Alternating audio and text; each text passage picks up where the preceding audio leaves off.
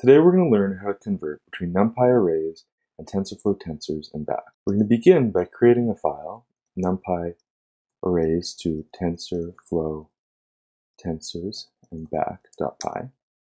We're going to import TensorFlow as TF as a standard and import NumPy as NP. We're going to begin by generating a NumPy array by using the random.rand method to generate a 3 by 2 random matrix using NumPy.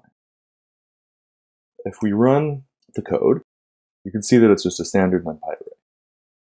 We're then going to create a standard TensorFlow session using the tf.session method.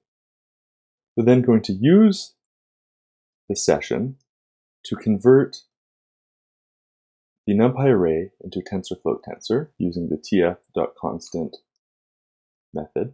And then we're going to print that tensor so you can see that it actually is a TensorFlow tensor. And so you see it is a tensor. Finally, we're going to convert it back by using the tensor.eval method.